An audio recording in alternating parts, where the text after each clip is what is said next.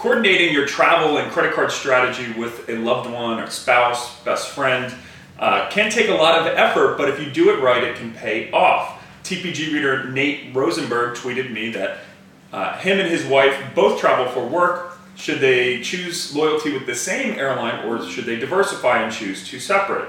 Now, the situation generally would require knowing, you know, where each of them are flying, if each of them have different client uh, you know, in different cities, I would recommend in general choose the airline that's going to be most efficient for you. So miles and points are great, but if you're traveling a ton, you know, there you got to put a value on spending time at home. So I would say pick the airline that will allow you to minimize your time on the road, minimize your time on the road, uh, so that you can spend time with your loved one or maybe if you don't want to spend time with your loved one, maybe you do want to rack up extra miles instead. We're digressing from the point here, but basically, I would say if all things being equal, I would recommend uh, with airline loyalty getting in the same program so that uh, you know whenever you do want to fly and take it or go on mileage runs together, uh, you can do so. You don't always have to fly different airlines. Um, now that's that being said, I would recommend diversifying your credit card strategy um, and kind of teaming up in certain ways, or maybe someone really focuses on hotel points, someone really focuses on airlines or transferable points,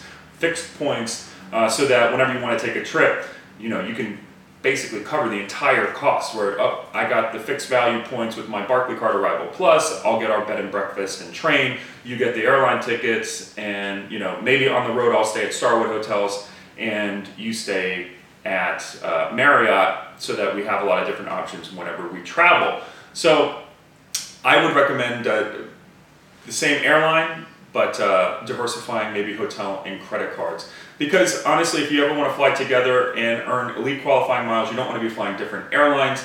And generally, the companion upgrade perks are pretty watered down, where uh, companions will actually drag you down in the upgrade, um, you know, in, in the race for the upgrade. So hopefully that answers your question. I don't know if anyone else disagrees with me or feels like they should have a different strategy, but feel free to comment if so, or tweet me at the Points Guy. Make sure you like us on Facebook.com backslash the Points Guy.